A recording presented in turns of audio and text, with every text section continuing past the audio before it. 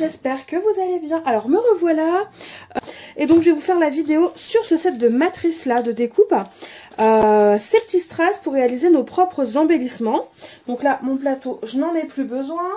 Et donc en gros euh, chez Custo Déco ils vendent des embellissements, des petites fleurs, des petits papillons qui sont à plus ou moins en volume, donc on peut superposer deux fleurs pour faire un peu plus de volume, mais euh, il n'y a, pas forcément deux volumes, mais en gros ce sont des embellissements bah, déjà papier, donc finalement euh, une fois que vous avez fini votre planche d'embellissement, eh bien euh, vous n'en avez plus, et du coup on m'avait demandé une technique, une petite astuce bah, pour avoir ce genre d'embellissement, pour les faire soi-même, euh, et pourquoi pas, euh, voilà, pouvoir remplacer les embellissements qu'on achète tout fait, qui des fois nous dépannent, qui nous plaisent et qu'on peut utiliser, hein, bien sûr, mais euh, trouver une petite astuce en gros qui coûte un petit peu moins cher. Donc c'est ce que j'ai fait, j'ai réfléchi, donc je suis tombée sur cette matrice-là, sur ce, ce, set de matrices-là, pardon. Voici la référence, mais sachez que comme d'habitude, vous avez le lien de tous les produits que j'utilise en barre d'informations. Et d'ailleurs, si vous allez sur le site de custodeco.com, dans la rubrique Inspiration DIY, vous aurez euh, voilà les photos des tutos. Euh, vous cliquez sur votre sur le tuto, vous aurez euh, dans le dans la nouvelle page qui va qui va s'ouvrir, vous aurez la vidéo qui mène vers le tuto et en dessous, vous défilez un peu l'écran, vous avez tous les articles utilisés pour faire pour faire tel ou tel tuto. C'est pratique, du coup, vous n'avez plus qu'à faire ajouter au panier et c'est dans votre panier. Du coup, pour réaliser nos embellissements, on aura besoin évidemment des matrices de découpe, de strass. Après, vous pouvez remplacer les strass par des dots, par ce que vous souhaitez. Euh, je vais utiliser la mini Cut d'Artemio qui est vraiment parfaite à poser sur le bureau et pour faire ce genre de petits projets. Euh, et évidemment, on aura besoin de papier euh, comme ceci, unis. Donc là, moi, ce sont des basiles. On va peut-être utiliser le, bloc à motif burgundy. Euh, ça, c'est pas sûr. Je pense pas. Mais au cas où, je l'ai pris. Euh, donc, pour les papiers unis que j'ai choisi, j'ai choisi le Stone Age. Donc, c'est un, un gris top euh, assez sympa. Hop. Voilà. J'ai pris le Juneberry. Donc là, on est plus sur un violine qui tire vraiment sur le bordeaux. Et ensuite, j'ai pris le quartz. Donc c'est un rose qui tire un peu vers le corail. Et pour finir, le Coco Swirl. Donc un blanc lisse tout simple. Donc là, je les ai coupés en deux fois. C'est pour ça que j'en ai d'autres. Maintenant, on va s'attaquer euh, tout simplement à la réalisation de nos embellissements. Donc les strass, on les met de côté, on n'en a pas besoin tout de suite. On va d'abord faire nos petites découpes. Hop. Et donc euh, là, je vais essayer de, de placer un peu mes, comment dire, mes, euh, mes matrices en fonction de la taille que je souhaite. Donc là, par exemple, les papillons, pour l'instant, je, ne m'en occupe pas.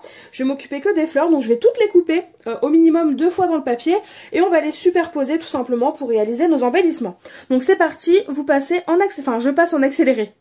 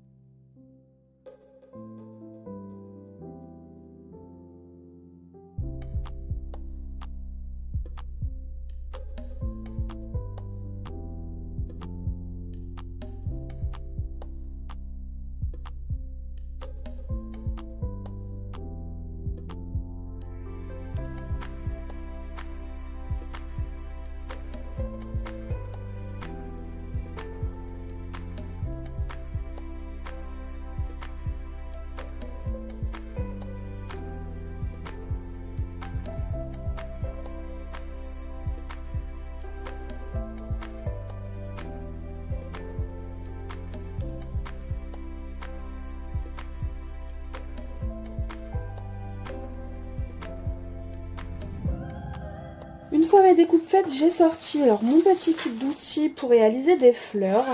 Et je vais prendre tout simplement mon tapis mousse. Donc cette étape n'est pas forcément obligatoire. On peut très bien le réaliser sans ce tapis mousse, hein, on est d'accord. Mais euh, vous allez voir, ça facilite quand même la tâche. Euh, en plus de mon petit tapis mousse, j'ai pris dans le set d'outils. Hein. Euh, c'est un set d'outils qui est complet, que vous pouvez retrouver sur Custo Déco. J'ai gardé l'emballage pour vous le montrer. Donc voilà, c'est ce set d'outils-là. Vous avez tous ces outils-là plus les deux tapis. Euh, et donc, on va donc prendre euh, cet outil avec une boule au bout en fait qui permet d'embosser. Après, on peut utiliser aussi, par exemple, euh, de chez Ouillard. Il y a, y a un kit d'outils avec un avec tout un set, avec une paire de ciseaux, tout ça. Bah ça, on peut l'utiliser. Hein. on a la même chose au bout. Enfin voilà, vous pouvez vous adapter et je vous rappelle, enfin je le redis une nouvelle fois, ce n'est euh, pas obligatoire. Donc là, j'ai fait mes découpes et en fait, tout simplement, je vais prendre mon petit tapis, je prends ma fleur et avec mon outil pour embosser, j'ai plus qu'à venir appuyer, venir travailler en fait ma fleur et ça va me faciliter la tâche pour euh, qu'elle prenne une forme bien particulière. Donc là, par exemple, je veux qu'elle soit euh, comme ceci. Après, je peux aussi la retourner et euh, travailler les pétales. Bon, là, c'est un petit peu gros. Je vais prendre du coup mon outil ouillère. Et donc voilà, je viens travailler les pétales vers l'extérieur de façon à lui donner une forme assez sympa. Je vais vous montrer. Mais de cet outil-là, enfin de ces outils-là, on va en reparler euh, lorsqu'on parlera tout simplement euh, des fleurs qu'on peut réaliser en papier. Et donc voilà ce que ça nous donne. Donc c'est sympa, ça a son petit style. Du coup, je prends mon deuxième papier, je fais pareil. Hein. Une fois que cette étape est terminée, donc le tapis, on peut le mettre de côté. On s'en occupera, enfin on l'utilisera après pour la suite. Et donc là, ce qu'on va faire, c'est que j'avais déjà mis à chauffer mon pistolet à colle chaude, donc encore de chez Sizzix. Euh, du coup, j'ai de plus en plus de produits de chez Sizzix. C'est une marque que je commence à vraiment apprécier euh, énormément. Et donc là, ce que je vais faire, c'est je vais mettre un point de colle, tout simplement, au centre de l'une de mes deux fleurs. Hein. peu importe, celle que vous souhaitez. Je vais positionner mes pétales au milieu, en quinconce, de façon à ne pas avoir de trou, en fait, tout simplement. S'il y a un petit filet de colle, eh bien, on l'enlève. Hein. Rien de compliqué. Donc là, on a notre première fleur qui est faite. Et ensuite, il ne nous reste plus qu'à venir coller un petit strass.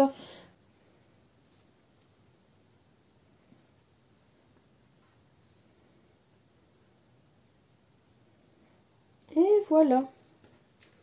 On obtient une petite fleur, un peu comme celle qu'on peut retrouver euh, tout simplement euh, vendue par lot chez Artemio. Donc voilà pour la fleur. Après, ça se, ça se décline dans toutes les couleurs que vous souhaitez. C'est l'avantage du set de matrice de découpe. Euh, et sinon, après, il y a aussi un set qui permet de réaliser des papillons. Enfin, qui permet de réaliser, non. Où on retrouve des fleurs de ce style au format papillon. Je vais peut-être zoomer, vous verrez peut-être mieux. Oui. J'y pense à la fin, tant pis. Et donc là, bon, on va le faire avec un papillon. Donc pour un papillon, euh, c'est tout simplement pareil. On prend notre papillon, on vient creuser au milieu. Et en fait, ça va nous aider à le former. On aura l'impression que notre papillon vole, tout simplement. Donc on le met là.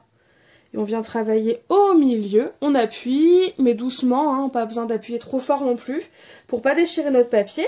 Et donc, soit on le met tout seul, et du coup, on a un papillon euh, tout simple qui s'envole. On va venir lui mettre un petit strass au milieu. Ou alors, on prend un papillon qui est plat, euh, qui est en dessous, hein, qui est plat. On va venir coller le second au-dessus, mais avec les pétales qui s'envolent pour donner un effet de papillon 3D. Donc là, c'est ce que je vais faire. Je vais mettre un peu de colle sous le papillon qui s'envole. Hein.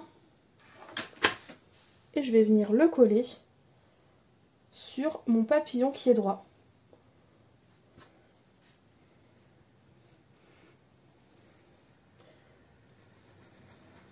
voilà ce que l'on obtient. Un petit papillon en 3D qui est prêt à être collé. Et donc sur la version en fait d'Artemio qu'on peut retrouver sur la boutique, il y a un petit strass au milieu. Donc c'est ce qu'on va faire. On va venir coller un petit strass. J'aimerais juste utiliser ma pince pour me faciliter la tâche. Alors, elle est là. Hop, du coup je vais prendre un petit strass, mais vraiment un petit, pas forcément un grand. Euh, j'ai pas forcément, non, j'ai pas envie de mettre un très grand. Donc je vais mettre un, ouais, un, entre-deux. Pas trop grand, mais pas trop petit non plus. Et je vais venir le positionner au milieu. Donc là, j'appuie. Hein. Mes, mes ailes de papillon vont se rebaisser un petit peu, mais c'est pas grave. On les retravaille. Et voilà, on se retrouve avec notre embellissement papillon terminé. Donc avec un effet 3D et notre petit strass, comme on peut euh, les retrouver tout simplement sur la boutique. Et évidemment, vous pouvez le faire de toutes les couleurs possibles et inimaginables. Euh, voilà, vous faites avec vos papiers, ça peut être du papier uni, du papier euh, à motif, tout fonctionne très bien pour ce genre de projet. Je vous, je vous remontre le set de matrice si jamais cela vous intéresse. Mais voilà ce que cela donne. Évidemment, je vais en faire dans d'autres couleurs, mais je ne le ferai pas forcément là aujourd'hui en caméra, parce qu'il n'y a pas d'intérêt. Le tuto principal, il est là, il est filmé. Euh, et de tout... De, bon, là là, j'ai du mal à parler, je vais aller trop vite. Mais de toute façon, ne vous inquiétez pas, les autres couleurs, vous les verrez lors des créations, parce qu'évidemment, ces petits embellissements que je vais créer, je vais tout simplement m'en servir pour mes créations spéciales Fête des Mères. N'hésitez pas à me dire si ce genre de petites astuces vous plaisent. Euh, si c'est le genre de vidéo que je peux recommencer. Et sinon, euh, tout simplement, euh, en attendant de nouvelles vidéos, je vous fais tout simplement de gros bisous. Et je vous dis à très vite. Bye bye